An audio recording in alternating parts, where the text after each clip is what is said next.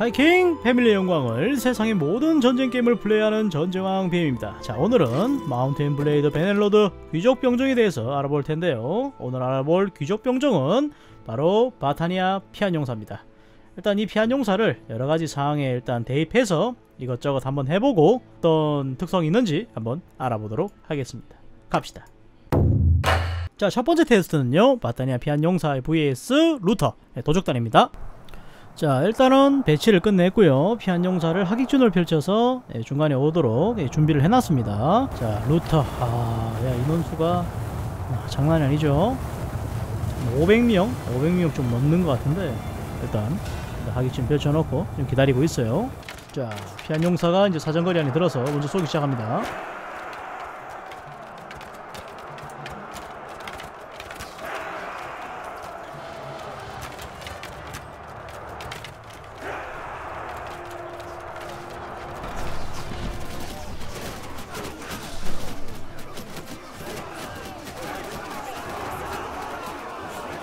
아, 바타니아 피안 용사는 확실히 이제 비용이 비싸고 모집하기도 힘들지만 마운트 앤 블레이드 배너로드에서 가장 강력한 궁병이에요.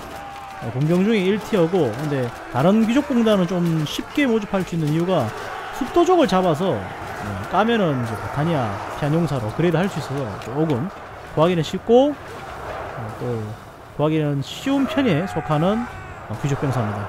확실히 방패가 없는 사람에서는 유리하네요. 자 이번에는 바타니아 피한 용사의 하위 호환인 이제 숲도족전을 잡아볼 겁니다. 이렇게 400명 정도를 잡아볼 거고요. 이제 숲도족단은 이제 바타니아 피한 용사의 하위 티어라서 쉽게 잡을 수 있긴 한데 과연 얼마나 차이가 나는지 봅시다. 네 역시나 비슷하게 어, 방어적으로 좀 넓게 하기진을 펼쳐서 배치를 했고요. 자, 사정거리 안에 들어갔고 피한 용사 쪽에서 먼저 공격을 시작합니다.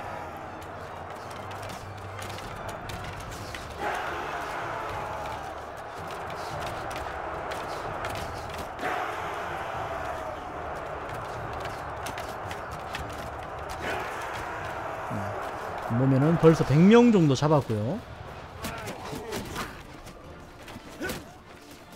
확실히 무지성 돌격이 아니라 일단 자리 잡고 싸우기 때문에 우리 수비 측이 훨씬 유리하긴 할 겁니다.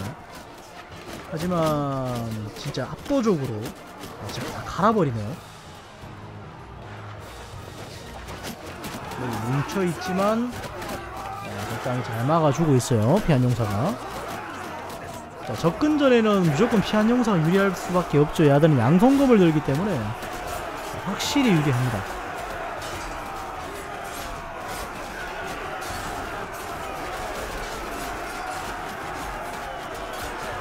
근접전에서는 억수로 강력한 모습을 보여주고 있어요. 자, 이번 전투도 무난무난하게 피한 용사가 승리를 합니다. 피해상 한번 볼까요? 피한 용사 한 명 부상? 아 피한 용사 부상이 아니네요. 아, 압도적입니다. 자 이번에는 해상습격단이고요. 해상습격단은 아무래도 방패가 있기 때문에 이제 원거리 병가들이 조금 불리할 수밖에 없어요 네 방패가 장착되어 있습니다. 그러면은 붙여보도록 할게요. 마침 평지 맵이 떠서 동일하게 평지에 이제 하객진으로 이제 겹치지 않도록 진영을 짰습니다. 자 기다리고 있어요. 말씀드리는 순간 들어오는 이제 해상습격단. 아무래도 방패가 있기 때문에 원거리 무기에 굉장히 강력할 확률이 높습니다. 사정거리 안에 들었고 지금부터 전투를 시작합니다. 어, 역시 활을 방패로 무난히 막아주고 있는 모습을 보여주고 있으면서 이제 가까이 가서 도끼를 던지면서 이제 항전하네요. 확실히 왕패가 있으니까 방어력 차이가 엄청나게 납니다. 어, 야 숫자가 어마어마하다.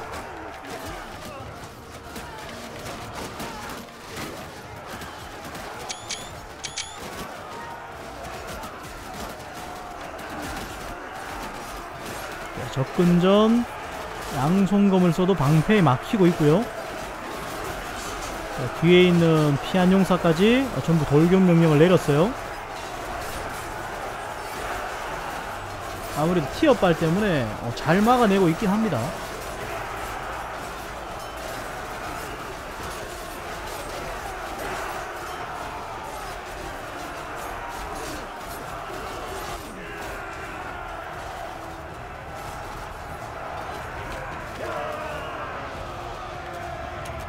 근접전에서도 피한 용사가 정말 강력한 어, 히- 능력을 보여주네요.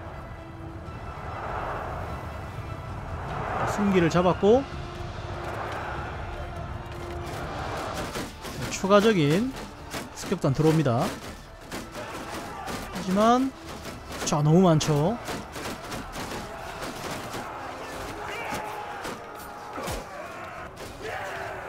해상 습격단도 문제없이 잡아냅니다.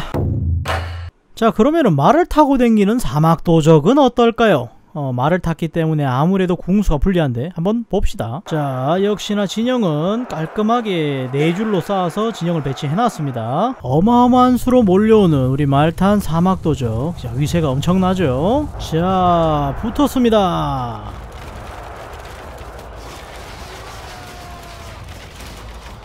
1차 방어선 뚫렸고 2차 뚫렸고 3차 뚫렸고요.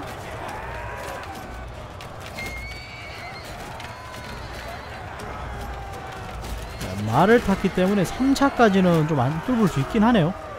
하지만 우리 근접전에서도 유형한 바타니아 피안 용사 자, 후발대로 이제 사막도적 고병대가 오고 있습니다.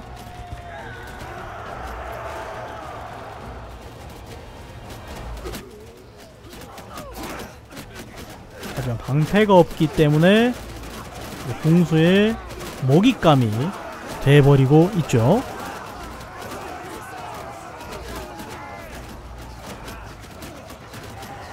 야, 이렇게 사막도적도 무난히 제거됩니다.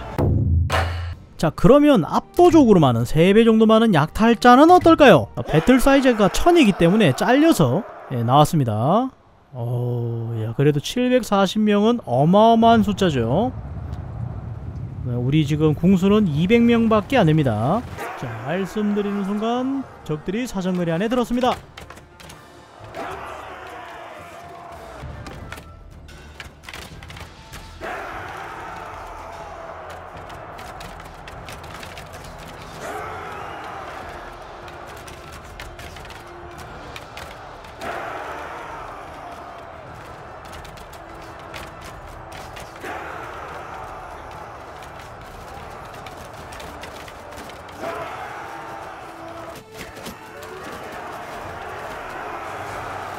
확실히 숫자가 많아서 원거리로는 다 못 잡고 근접전에 들어갔어요. 어마어마한 수입니다.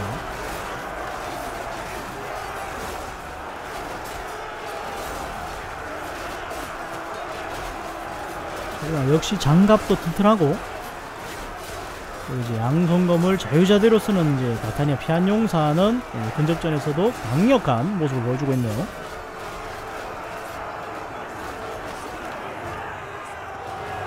1차 웨이브를 다 막았고요.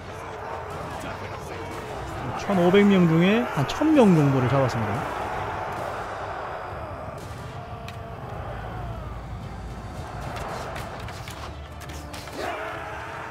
전장이 지금 서로 뒤엉켜서 난전이 됐는데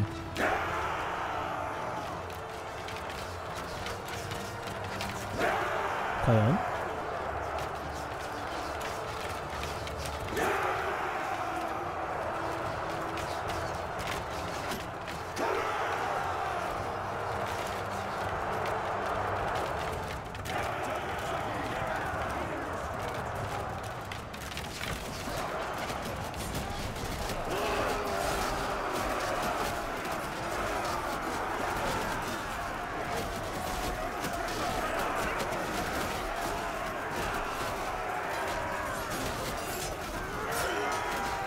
하지만 바타니아 피안 용사 아무런 문제 없이 나머지를 다 잡으면서 역시나 승리를 가져갑니다.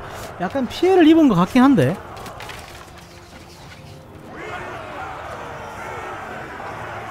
약간 지금 피해를 입은 것 같죠? 살짝 바가 깎였네요. 네, 겨우 6명 정도 죽었습니다. 오늘의 마지막은 블란디아의 사로고트입니다. 네, 공성전을 할 거고요. 과연 공성전에는 얼마나 효과가 있는지 봅시다. 자 전투가 시작됐고요 시작하자마자 달려가는 우리 바타니아 피안 용사들 이렇게 보니까 멋있네요. 자, 사정거리가 굉장히 긴 만큼 시작하자마자 활을 쏴서 성벽에 있는 병사들을 죽이기 시작했습니다.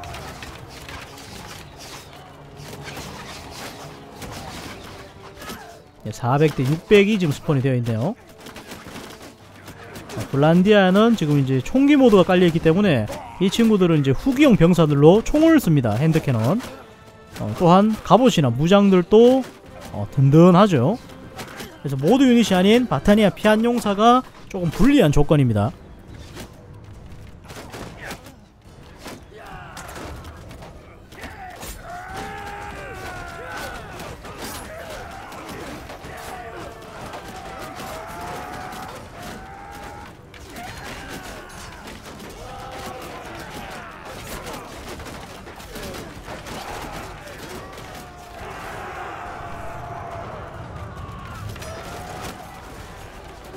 투석기를 쏘지만 아무도 없는 곳에 헛방을 쏘고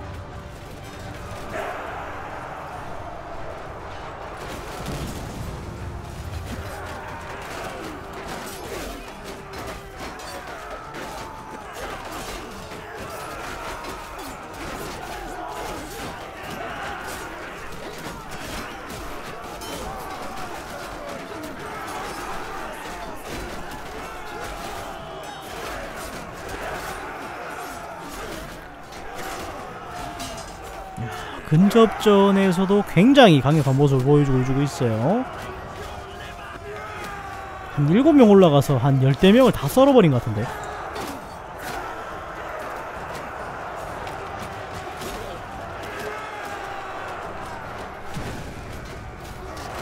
자, 이쪽은 조금 난관을 걷고 있네요. 빡셔 비는데.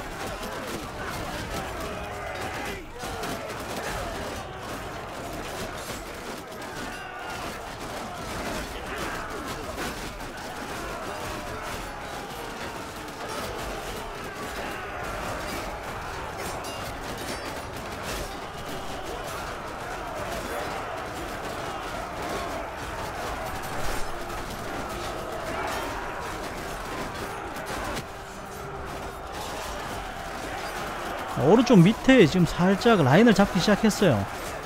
어, 다시 밀립니다. 병사들은 지금 계속 계속 들어가고 있고.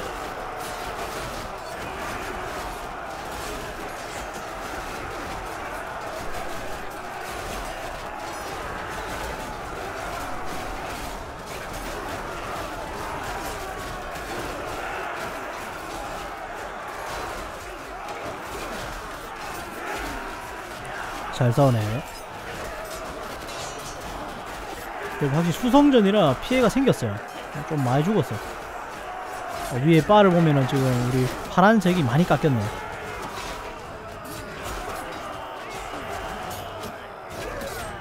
이제 성벽 정리가 끝났고 아래쪽에서 총병대가 올라옵니다.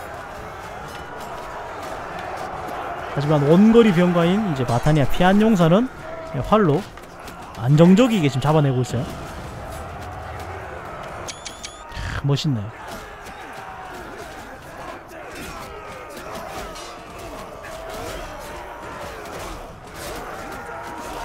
야, 총 앞에서도 무너지지 않아.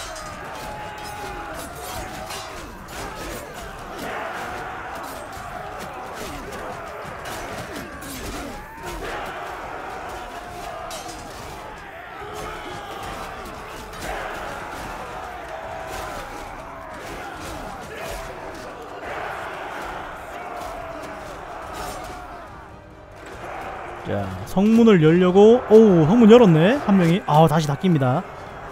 네, 성문을 안에서 열어줄 수 있기 때문에 한 명이 이렇게 뒤로 돌아가면 좀 이점이 있죠. 자, 나머지 병사단한테 썰리고. 다 잡았네요. 야 깔끔하게 정리했습니다.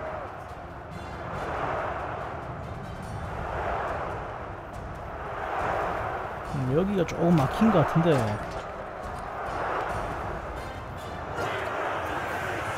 네, 깔끔하게 정리를 끝내면서 50명, 60명 정도 빼고 전부 잡았습니다. 아우 네, 바타니아가 확실히 좋네요. 자, 오늘의 엔딩은 왕 데르세르트를 처형하는 걸로 끝내도록 하겠습니다. 바이킹!